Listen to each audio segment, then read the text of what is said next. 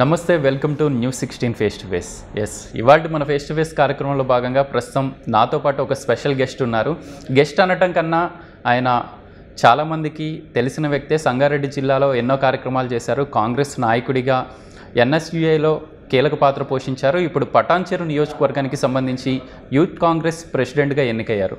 నాతో పాటు వినయ్ కుమార్ గౌడ్ ఉన్నారు. ఆయనతో మాట్లాడే ప్రయత్నం చేద్దాం. అన్న ముందుగా నమస్తే. సో చాలా రోజుల తర్వాత మిమ్మల్ని కలుసుకుంటూ ఉన్నాం. ఎలా ఉన్నారన్న? ఫైన్ చాలా ఐఎమ్ గుడ్ సో చాలా సున్నితంగా కనిపించే వినయ్ కుమార్ గౌడ్ ఫ్యామిలీ బ్యాక్గ్రౌండ్ ఏంటి? అంటే ఏం చెప్తారా? నాన్నగారు వచ్చేసి ఎంప్లాయ్ అండి ఎల్ఐసి ఎంప్లాయ్. మ్మ్. అమ్మ వచ్చేసి హోమ్ మేడ్. సిస్టర్ వచ్చేసి ఇంజనీరింగ్ చదువుతున్నారు. నాన్నగారి పేరన్న? నాన్నగారి పేరు అశోక్ గౌడ్ అమ్మగారి పేరు మంగ.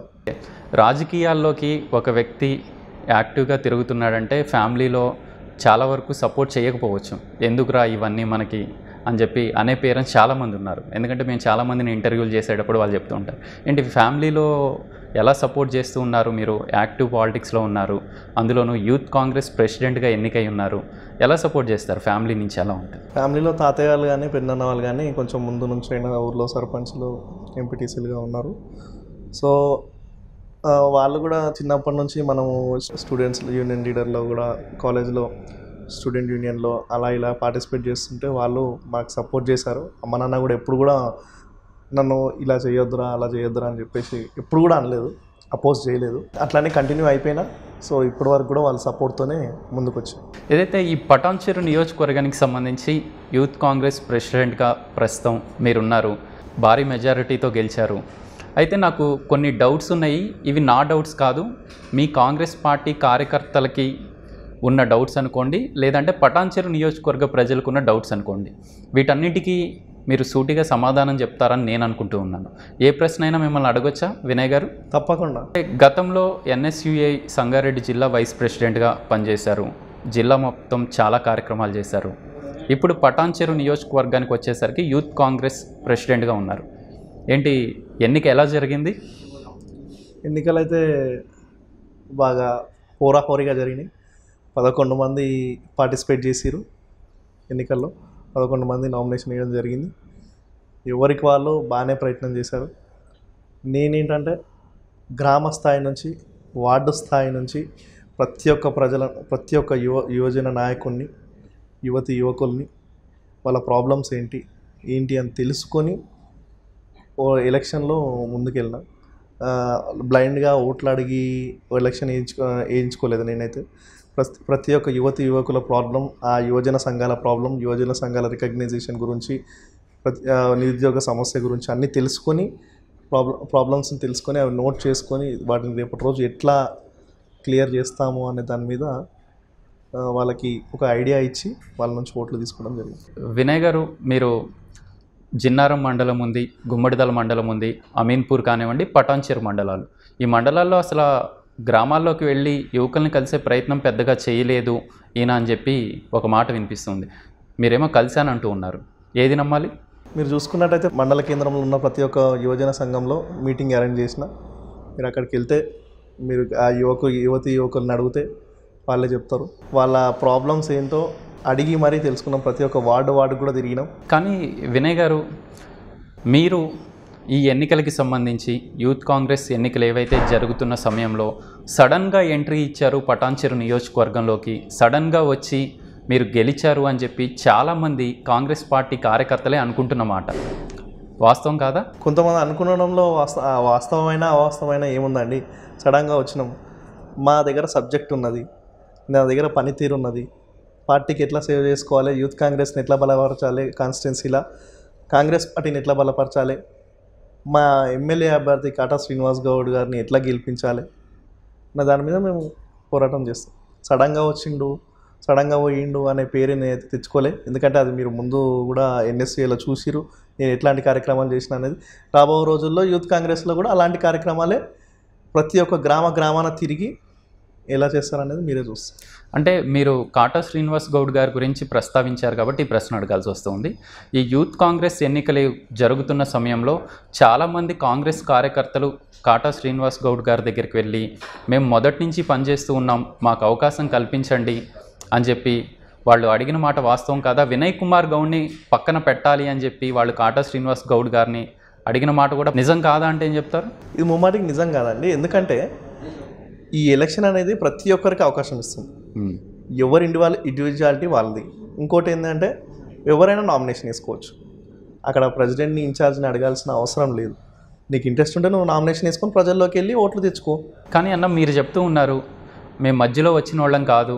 మొదటి నుంచి సంగారెడ్డి జిల్లాలో అందులోనూ పటాన్చెరు నియోజకవర్గంలో ప్రతి వాళ్ళకి తెలిసిన వ్యక్తిని నేను పని చేసుకుంటూ పోతున్నానని. కానీ గుమ్మడిదల మండలం కానివ్వండి జిన్నారం మండలాల్లో అసలు ఈ వినయ్ కుమార్ గౌడ్ ఎవరు అని చెప్పి చాలామంది కాంగ్రెస్ కార్యకర్తలు అనుకుంటున్న మాట వాస్తవం కదా? ఉమ్మటికి వాస్తవం కదండి. ఇంకా అక్కడనే నేను ఇంకా గుమ్మడిదాల గుమ్మడిదాల్ జిన్నారం మండల్ బొల్లారంకి మంచి అమీన్పూర్ మండల్కి మంచి సుపరిచితిని. అక్కడ స్థానిక మండల అధ్యక్షుడు శ్రీకాంత్ రెడ్డి గారిని అడిగినా చెప్తారు. ఎంపీపీ గారిని అడిగినా చెప్తారు. ఇక్కడ అధ్యక్షుడు వీరారెడ్డి గారిని అడిగినా చెప్తారు.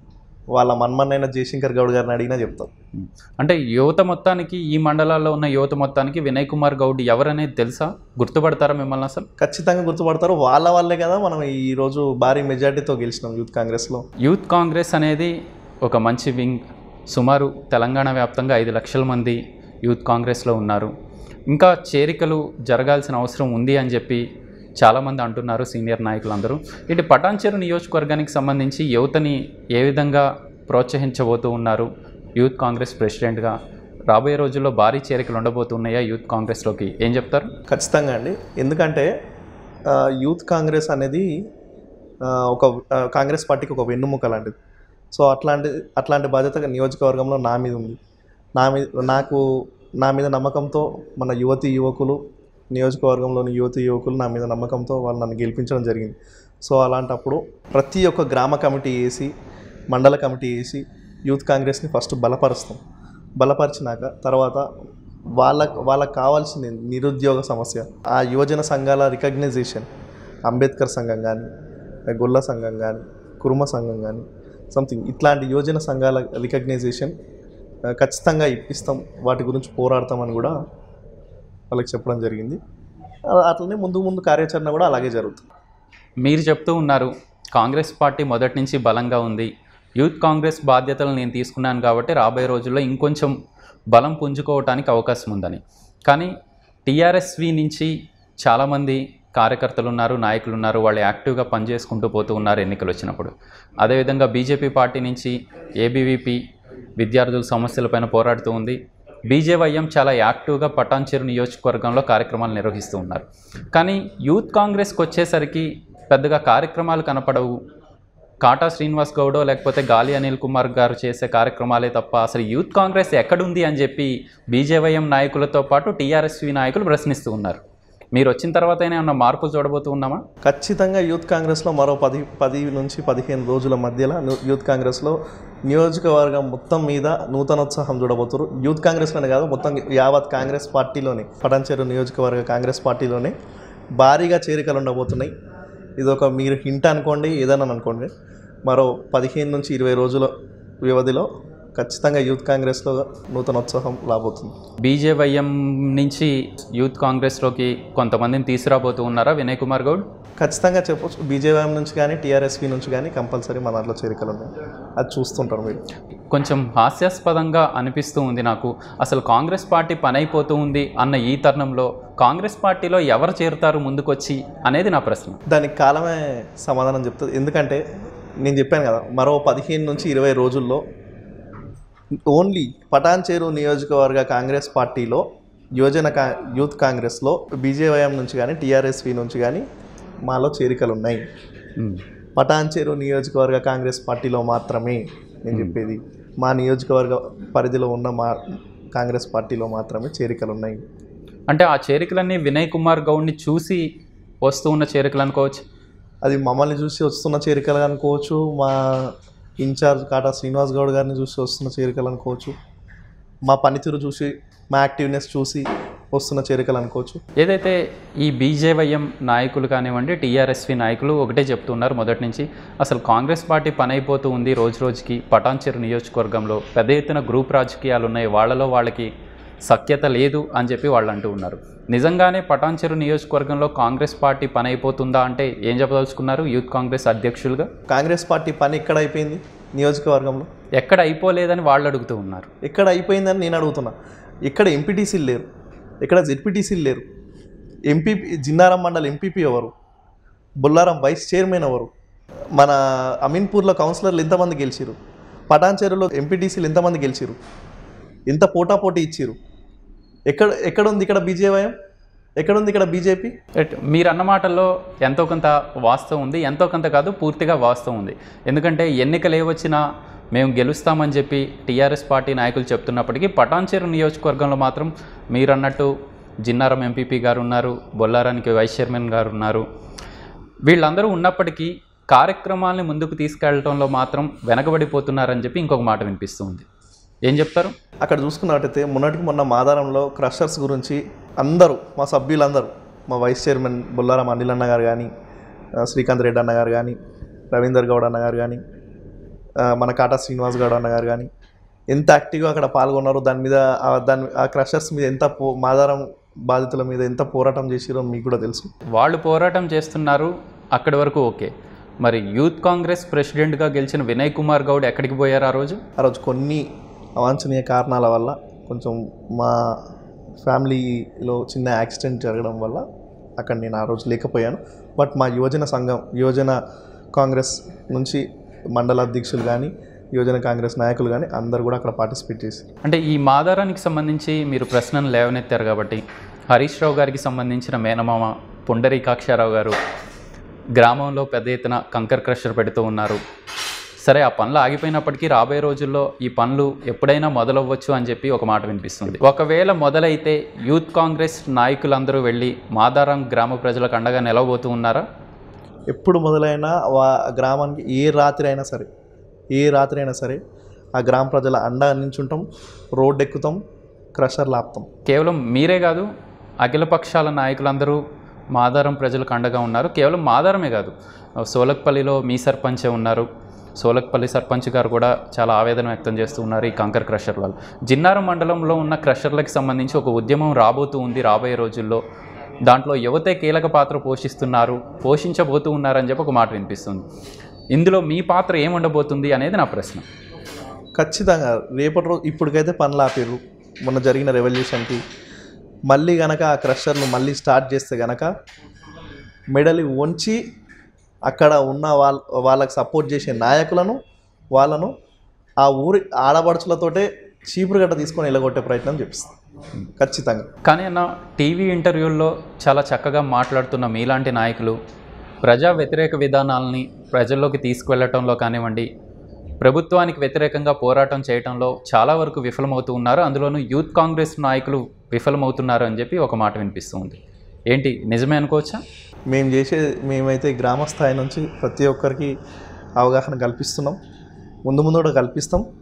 ఇంకా ముందు ముందు రానున్న రోజుల్లో నేను మొన్ననే చార్జ్ తీసుకున్నాం కాబట్టి ఇంకా తీసుకోలేదు అఫీషియల్గా చార్జ్ తీసుకున్నాక రానున్న రోజుల్లో మా ప్రోగ్రామ్స్ అనేటివి మా కార్యాచరణ అనేటిది చాలా స్ట్రిక్ట్గా ఉండబోతుంది.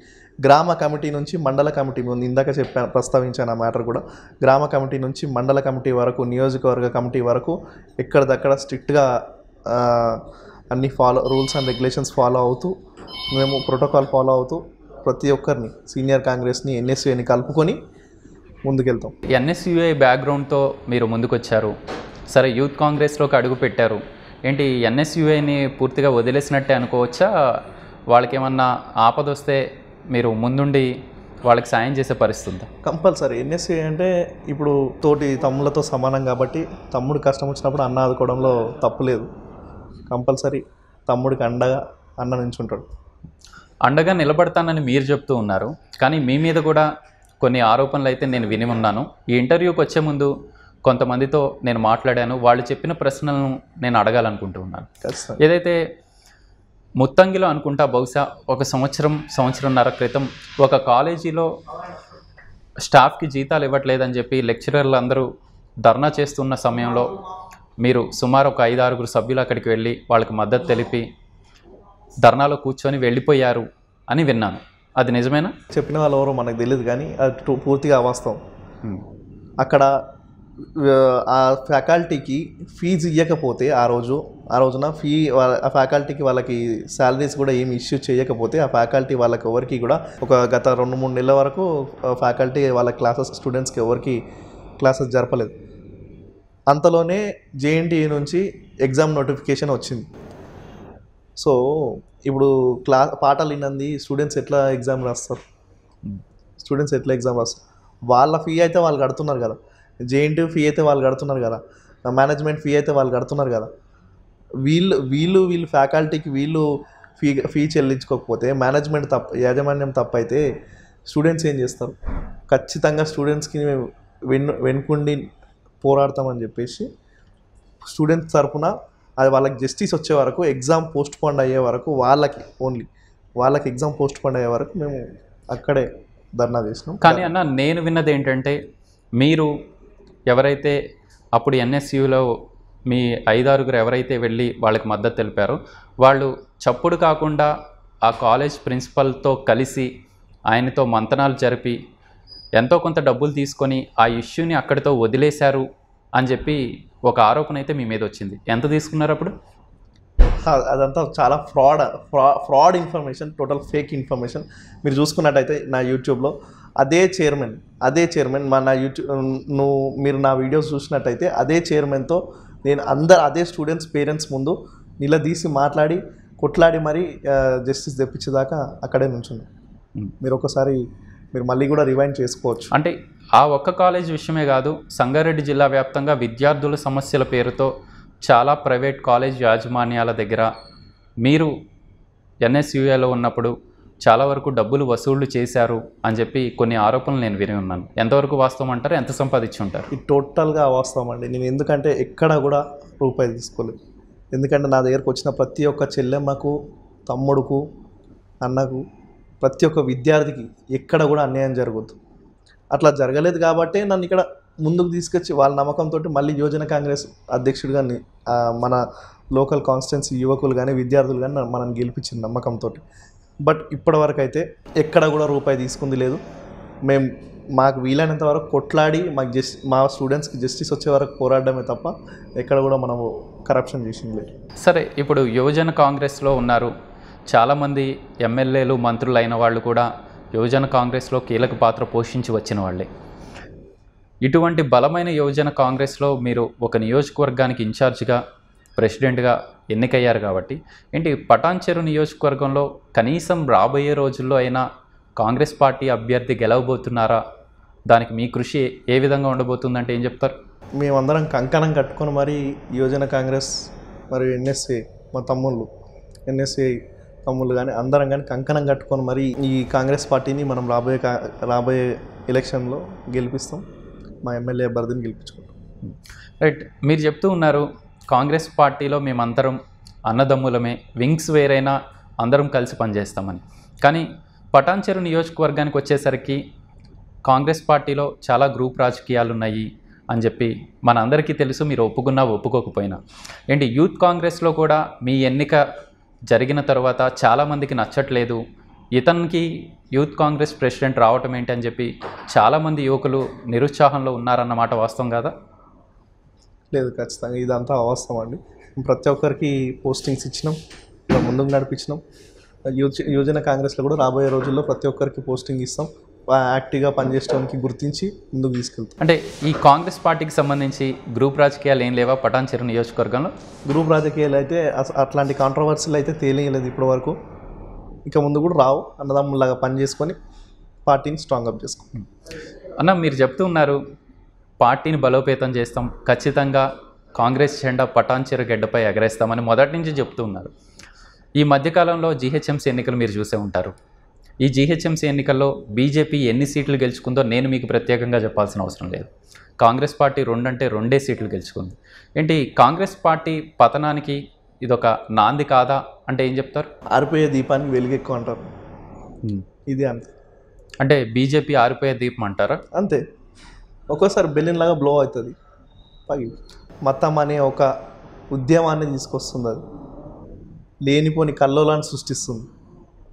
అలాంటి వాటికి ఎప్పుడు కూడా ప్రజలు సపోర్ట్ చేయరు. ఇండియా ఇండియా ఇస్ వన్ అంటే అన్ని మతాలు కలిసిమెలిసి ఉండాలని చెప్పేసి అదే అదే ఇండియా. సో అలాంటిని అలాంటి ఇండియాలో ఇట్లాంటి మత కల్లోలమైన విధ్వంసాలు రేకెత్తిస్తుంది కాబట్టి కంపల్సరీ ప్రజలు వాళ్ళకి బుద్ధి చెప్తారు రానున్న రోజులు. కానీ అన్న మీరే అన్నారు ఇప్పుడు ఆరిపోయే దీపానికి వెలుగు ఎక్కువ అని. ఆ వెలుగు రేపు రెండు వేల ఇరవై మూడు వరకు ఉంటుంది. ఖచ్చితంగా మేము గెలవబోతూ ఉన్నాము. సీఎం పీఠంలో బీజేపీ వ్యక్తి ఉంటారు అని చెప్పి వాళ్ళు బలంగా చెప్తూ ఉన్నారు. ఆ వెలుగు అప్పటి వరకు ఉన్నా మీకు ఇబ్బందే కదా? ఇప్పటి వరకు అయితే వెలుగు ఉండదని అయితే అనుకుంటున్నాం. రేపు నాగార్జున సాగర్ ఎలక్షన్స్లో జానారెడ్డి గారు గెలిచినాక ఆ వెలుగు ఆటోమేటిక్గా ఆరిపోతుంది. బట్ అన్న ఒక విషయం మాత్రం ఓపెన్గా మాట్లాడవచ్చు ఇతర నియోజకవర్గాల సంగతి పక్కన పెడితే పటాన్చెరు నియోజకవర్గంలో మాత్రం కాంగ్రెస్ పార్టీ చాలా బలంగా ఉంది అన్న మాట అయితే జర్నలిస్టులుగా మేము ఒప్పుకుంటూ ఉన్నాం. చాలామంది అనుకుంటూ ఉన్నమాట కాటా శ్రీనివాస్ గౌడ్ గారు ఒక యువ నాయకుడు ఉన్నారు. అలాంటి యువ నాయకుడికి యూత్ కాంగ్రెస్ ప్రెసిడెంట్గా మీలాంటి యువ నాయకులు తోడవుతూ ఉన్నారు. ఏంటి రాబోయే రోజుల్లో ఏం జరగబోతుంది అసలు పటాన్చెరు నియోజకవర్గంలో? అంటే ఏం చెప్తారు? ఫస్ట్ కాంగ్రెస్ పార్టీ మీరు ఇందాక అన్నారు కాంగ్రెస్ పార్టీ నియోజకవర్గంలో బలంగా ఉన్నది. ఆ క్రెడిట్ అంతా కాటా శ్రీనివాస్ గౌడ్కే వెళ్తుంది. ఎందుకంటే ఆయన ఆయన నేర్పిన ఈ ఉత్సాహమే ఆ ఈ యూత్ ఈ యూత్లో కూడా. సో ఆ క్రెడిట్ అంతా ఆయనకే ఇవ్వచ్చు ఇప్పుడు ఇప్పుడు మేము ఆయనతో జాయిన్ అవ్వబోతున్నాం కాబట్టి మా బలం కూడా చేకూరుస్తాం. మాతో అయినంత వరకు స్ట్రాంగ్ అప్ చేసి ఆయన ఆయన చేతిలో చేయగలిపి ముందుకు తీసుకెళ్తాం. కానీ అన్న క్రెడిట్ అంతా ఆయనకిచ్చి మిగిలిన నాయకులు చేతులు దులుపుకుంటున్నారు. అందుకే కష్టం అవుతుంది అని కూడా ఇంకొక మాట వినిపిస్తుంది. మీరు కూడా చేతులు దులుపుకోబోతూ ఉన్నారా రేపు రాబోయే రోజుల్లో? లేదన్న కంపల్సరీ ఆయన చేతి ఆయన ఆయన చేతి పట్టుకొని నడుస్తాం. కంపల్సరీ ఏదున్నా స్ట్రాంగ్ అప్ చేస్తాం. కానీ అన్న మీరు పటాన్చెరు నియోజకవర్గానికి సంబంధించి యూత్ కాంగ్రెస్ ప్రెసిడెంట్గా గెలిచిన వెంటనే కాటా శ్రీనివాస్ గౌడ్ గారి దగ్గరికి వెళ్ళి ఆయన కలిశారు ఆయన మీకు శుభాకాంక్షలు తెలియజేశారు. గాలి అనిల్ కుమార్ గారి దగ్గరికి మీరు ఎప్పుడైనా వెళ్ళారా? నేను వెళ్దామని ట్రై చేశానండి. యాక్చువల్గా ఆయన కార్యక్రమాల్లో కొన్ని సందర్భాల్లో బిజీ ఉండడం వల్ల కుదరలేకపోయింది. ఖచ్చితంగా రానున్న రోజుల్లో కలిసి ఆయన ఆశీర్వాదాలు కూడా తీసుకుంటాం. కానీ వినయ్ కుమార్ గౌడ్ అనే వ్యక్తి కాటా శ్రీనివాస్ గౌడ్ మనిషి అందుకే ఆయన్ని కలిశారు. గాలి అనిల్ పార్లమెంటరీ ఇన్ఛార్జిగా ఉన్నారు. కనీసం ఆయన దగ్గరికి కూడా వెళ్ళలేదు అని చెప్పి గాలి అనిల్ కుమార్ గారి అభిమానులు నాతో చెప్పిన మాట నేను మిమ్మల్ని అడుగుతూ ఉన్నాను. ఎందుకు వెళ్ళలేకపోతూ ఉన్నారు అనేది నా ప్రశ్న. అట్లాంటిది ఏం లేదండి. కంపల్సరీ అంటే నా సో నా కొన్ని పర్సనల్ ఇష్యూస్ వల్ల నేను బయటికి రాలేకపోయాను. బట్ ఇప్పుడు రానున్న రోజుల్లో నేను తీసుకునే ఓట్ సెరమనీలో కానీ చార్జ్ తీసుకునేటప్పుడు కానీ ఖచ్చితంగా గాలి అనిల్ కుమార్ గారిని కానీ మన బొల్లారం వైస్ చైర్మన్ బొల్ అనిల్ అన్న గారు కానీ ఎంపీపీ గారిని కానీ మండల అధ్యక్షులను కానీ ప్రతి ఒక్కరిని కలిసి కలుపుకొని తీసుకెళ్ళి అంటే ఈ ఎన్నికలకి సంబంధించి ఎలా అన్నా మీ ఎన్నికలు ఎలా జరుగుతాయి? ఈ యూత్ ప్రెసిడెంట్ యూత్ కాంగ్రెస్కి సంబంధించి ఏదో ఆధార్ కార్డ్ నెంబర్లు తీసుకోవటం ఒక ఫోటో తీసుకోవటం చేస్తారంట. నిజమేనా? అయితే మొన్నటి వరకు అయితే లాస్ట్ యువజన కాంగ్రెస్ ఎలక్షన్స్ వరకు అయితే పోలింగ్ జరిగేది. సో ఇప్పుడు ఐవైసీ ఏం చేసిందంటే ఈ కరోనా వల్ల కానీ వీటి వల్ల కానీ ఏం చేసిందంటే వాళ్ళ వాళ్ళ ఆధార్ కార్డ్స్ వాళ్ళ ఓటర్ ఐడి వాళ్ళ ఏజ్ అంతా చెక్ చేసుకొని వాళ్ళ ఓటీపీ వాళ్ళ సొంత ఫోన్ ఓటీపీ నుంచి వచ్చేటట్టు చూసుకొని ఎలక్షన్ నిర్వహించారు అందుకే వినయ్ కుమార్ గౌడ్ గెలిచారు అని చెప్పి చాలామంది అనుకుంటున్నమాట. ఫేక్ నెంబర్లు తీసుకొని చాలామంది దగ్గర బలవంతంగా వాళ్ళ ఆధార్ కార్డులు వాళ్ళ ఫోన్ నెంబర్లు తీసుకొని గెలిచారు అని చెప్పి ఇంకో మాట వినిపిస్తుంది. నిజం కాదా? మీరు చూసుకున్నట్టయితే ఐవైసీ యాప్ ఇప్పటికైనా ఓపెన్ చేస్తే ఫేక్ నెంబర్లైనా ఫేక్ ఆధార్లైనా ఫేక్ ప్రూఫ్లైనా ఫేక్ ఓటీపీలైనా ఏదైనా సరే అన్నీ రిజెక్టెడ్ లిస్ట్లో ఉన్నాయి. పన్నెండు లక్షలు ఓవరాల్ స్టేట్లో పన్నెండు లక్షల ఓట్లు నమోదైనవి. బట్ అక్కడ కౌంట్ అయిన ఓట్లు జెన్యున్ ఓట్లు ఐదు లక్షల చిల్లర మాత్రమే. దీన్ని ఏమంటారు అంటే మీరు ఎవరికి ఏమీ ప్రలోభాలకు గురి చేయలేదా? చాలామంది యువకుల దగ్గర ఆధార్ కార్డులు నెంబర్లు తీసుకున్నారు వాళ్ళ దగ్గర ఫోటోలు తీసుకున్నారు ఓటీపీలు అని చెప్తూ ఉన్నారు. ఎంతవరకు ఖర్చు అయింది మీకు? మీకు ఇంతకు ముందుకే చెప్పాను. ప్రతి ఒక్క వార్డుకి తిరిగినాం. ప్రతి ఒక్క యువతి యువకులను కలిసినాం. వాళ్ళ ప్రాబ్లమ్స్ తెలుసుకున్నాం. దాని తర్వాత వాళ్ళ ఓట్ మేము వాటి వాళ్ళ ప్రాబ్లమ్స్ ఎట్లా సాల్వ్ చేస్తామని చెప్పిన తర్వాత వాళ్ళ ఓట్లు తీసుకున్నాం. వాళ్ళు సాటిస్ఫై అయితే. అన్న మీరు సరే ఎన్నికలు అయిపోయినాయి. మీరు ప్రెసిడెంట్గా ఉన్నారు కాబట్టి బీజేవైఎం అనగానే మనకి పటాన్చెరులో ఆశీష్ గౌడ్ గారు ఉన్నారు. ఇంకా చాలామంది నాయకులు ఉన్నారు. వీళ్ళు చరిష్మా గల వ్యక్తులు వీళ్ళు ఏ కార్యక్రమం తీసుకున్నా సాధించే వరకు వదిలిపెట్టరు అని చెప్పి వాళ్ళకైతే ఒక మంచి పేరు ఉంది. సరే మీరు గతంలో చాలా పోరాటాలు చేశారు చాలా వరకు సాధించగలిగారు. ఆ చరిష్మాని ఎంతవరకు మీరు అందిపుచ్చుకోగలరు అనేది నా ప్రశ్న. ఖచ్చితంగా రాబోయే రోజుల్లో మా కార్యాచరణ ఎలా ఉండదు అనేది మీరే చూస్తారు. మా యువజన కాంగ్రెస్లో మాకు ఒక సబ్జెక్ట్ ఉన్నది పాదయాత్ర చేస్తాం. మా యువజన కాంగ్రెస్ మొత్తం కాన్స్టిట్యున్సీ మొత్తం పాదయాత్ర చేస్తాం. ప్రతి ఒక్క యువ యువతి యువకుల ప్రాబ్లమే కాకుండా అక్కడ ఉన్న students problem college problem infrastructural problem school problem ఇక్కడ ఉన్న గవర్నమెంట్ స్కూల్లో కరెక్ట్గా భోజనం అందుతుందా? అది ఎంతవరకు స్వచ్ఛంగా ఉంది? వీటన్నిటి మీద బస్సులు వస్తున్నాయా? టైం బస్సులు వస్తున్నాయా? అక్క ఇప్పుడు మాది పటాన్చేరు నియోజకవర్గం ఇండస్ట్రియల్ ఏరియా కాబట్టి మా పటాన్చేరు నియోజకవర్గ యువకులకు ఆ ఇండస్ట్రీ ఇండస్ట్రీస్ ఎంతవరకు ప్రాధాన్యత ఇస్తుంది? ఉద్యోగాలు ఎంతవరకు ఇస్తున్నారు? నిరుద్యోగత ఎంత ఉన్నది యోజన సంఘాల గుర్తింపులు ఎంత ఉన్నాయి ఎన్ని ఊర్లలో ఎన్ని యోజన సంఘాల భవన్లు ఉన్నాయి? వీటన్నిటి మీద కూడా మేము కార్యాచరణ సిద్ధం చేయబోతున్నాం. ఖచ్చితంగా ప్రతి ఒక్క చిన్న యువజన భవన్ కాడ నుంచి యువజన సంఘాల కాడ వరకు మొత్తం అందరినీ కూడా కలుపుకొని పోయి వాళ్ళకి న్యాయం చేసే విధంగా ముందుకు తీసుకెళ్తాం. చెప్తూ ఉన్నారు ఖచ్చితంగా యువకులు ఎవరైతే ఉన్నారో వాళ్ళని వాళ్ళకి అవగాహన కల్పించి రాబోయే రోజుల్లో యూత్ కాంగ్రెస్లో మెంబర్లుగా చేర్చి మరిన్ని కార్యక్రమాలు చేస్తామని. కానీ ఇక్కడ ఒక మాట వినిపిస్తుందన్న ఎవరైతే ఈ మండలాల్లో కానివ్వండి గ్రామాల్లో కొంచెం సౌండ్ పార్టీ వ్యక్తులు ఎవరైతే ఉంటారో యువకుల్లో వాళ్ళకే మీలాంటి వాళ్ళు ప్రిఫరెన్స్ ఇస్తూ ఉన్నారు. పాపం నిజంగా పార్టీ కోసం కష్టపడే వాళ్ళని డబ్బు లేని వాళ్ళని పెద్దగా దగ్గరికి కూడా రానివ్వరు అని చెప్పి ఒక మాట వినిపిస్తుంది. అంటే వినయ్ కుమార్ గౌడ్ గారు కూడా ఇదే పందాలో వెళ్ళబోతూ ఉన్నారా? కేవలం సౌండ్ పార్టీలని దగ్గరికి చేర్చుకోబోతూ ఉన్నారా? చూసినట్టయితే ఇప్పటి వరకు అయితే నా క్యాడర్ కానీ యూత్ కాంగ్రెస్లో కానీ ఎన్ఎస్ఏలో కానీ వర్క్ చేసే తమ్ముళ్ళు ప్రతి ఒక్కరిని కూడా మీరు ఎంక్వైరీ చేసుకుంటే ఇక్కడ కూడా సౌండ్ పార్టీ అవన్నీ మేము అట్లా పక్షపాతం లేని మనిషిని ఎందుకంటే నేను కూడా ఒక కింది స్థాయి నుంచి వచ్చిన వ్యక్తిని. మిడిల్ క్లాస్ నుంచి వచ్చిన వ్యక్తిని అవి ఏంటో మాకు కూడా తెలుసు ఆ కష్టాలు. మేము ఎవరిని కూడా అట్లా ఖచ్చితంగా యాక్టివ్గా పార్టిసిపేట్ చేస్తుంటే వాడిని గుర్తి గుర్తించి ముందుకు తీసుకెళ్ళే ప్రయత్నం చేస్తాం. ఏం చెప్పదలుచుకున్నారన్న పటాన్చెరు నియోజకవర్గంలో పెద్ద ఎత్తున యువకులు ఉన్నారు ఈ మండలాలు ఏవైతే ఉన్నాయో ఈ మండలాల్లో ఏదైనా కార్యక్రమం తీసుకుంటే కాంగ్రెస్ పార్టీ నుంచి పాపం స్వతహాగా రోడ్ల మీదకి వచ్చి ధర్నాలు కానివ్వండి రాస్తా రోకోలు కానివ్వండి చేసేందుకు వాళ్ళు సిద్ధంగా ఉన్నారు. మరి అలాంటి వాళ్ళకి మీలాంటి నాయకులు ఎంతవరకు ఊపునివ్వబోతూ ఉన్నారు? వాళ్ళకి అసలు ఏం చెప్పదలుచుకున్నారు? అట్లాంటి వాళ్ళకి ఖచ్చితంగా మేము లిఫ్ట్ ఇస్తాం. ముందుకు తీసుకొస్తాం. అట్లాంటి వాళ్ళని గుర్తింపజేస్తాం. మేము కూడా వాళ్ళతో పాటు చేయగలిపి ఇంకా ఉద్యమాన్ని ఇంకా పురుగు తొలగిస్తాం అంటే మీదైన మార్క్ రాబోయే రోజుల్లో పటాన్చెరు నియోజకవర్గంలో అందులోనూ యూత్ కాంగ్రెస్లో చూడబోతూ ఉన్నామా? ఖచ్చితంగా చూస్తారండి. చెప్పాను కదా ఇంకా రానున్న ఒక పదిహేను ఇరవై రోజుల్లో పటాన్చేరు కాంగ్రెస్లో భారీ నూతనోత్సాహం చూడబోతున్నారు. అంటే మాటలకే పరిమితం అనుకోవచ్చా? లేదంటే మొత్తం బాధ్యత కాటో శ్రీనివాస్ గౌడ్ మీదే వదిలేసి మీరు కూడా చప్పుడు కాకుండా ఉండిపోతారా అనేది నా ప్రశ్న. ఇది ప్రకటించింది పటాన్చేరు నియోజకవర్గ అధ్యక్షుడు వినయ్ కుమార్ గౌడ్ కాబట్టి ఆయనే చేసి చూపిస్తారు. నా చాలామంది యువకులు ఉన్నారు మన పటాన్చెరు నియోజకవర్గంలో. ఇందాక మీరు ఒక సమస్యను లేవనెత్తారు. చాలా ఇండస్ట్రియల్ ఏరియా మన పటాన్చెరు నియోజకవర్గం. కానీ ఇక్కడున్న యువతకి కనీసం ఇక్కడున్న పరిశ్రమల్లో ఉద్యోగాలు రావట్లా. దీని మీద ఏదైనా ఉద్యమం తీసుకురాబోతూ ఉన్నారా రేపు రాబోయే రోజుల్లో? చెప్పాను కదా ఇందాక రానున్న రోజుల్లో ప్రతి ఒక్క ఇండస్ట్రీలో ఎంత పర్సెంటేజ్ పర్సెంట్ వరకు మన లోకల్ యువకులు ఉన్నారు. ఎంత పర్సెంటేజ్ వరకు బయట వాళ్ళకి ప్రాధాన్యత ఇస్తున్నారు? అన్నీ కూడా చూసుకొని వాటి మీద పోరాటం కంపల్సరీ చేస్తాం. ప్రతి ఒక్క ఇండస్ట్రీ మీద చేస్తాం. దీని మీద దీని మీద ఒత్తిడి గవర్నమెంట్కి కూడా ఒత్తిడి గవర్నమెంట్ మీద కూడా ఒత్తిడి తీసుకుపోతాం ఇదే విషయం మీద. నిరుద్యోగ సమస్య నియోజకవర్గంలో ఎంత ఉన్నది ఎంతమంది ఉద్యోగాలు లేక రోడ్డు మీద ఉన్నారు? ఎంతమందికి ఎంతమందికి మా మా నియోజకవర్గంలో ఉన్న ఇండస్ట్రీలు అవకాశాలు ఇస్తలేవు? ఇవన్నీ కూడా నోట్ చేసుకుంటాం.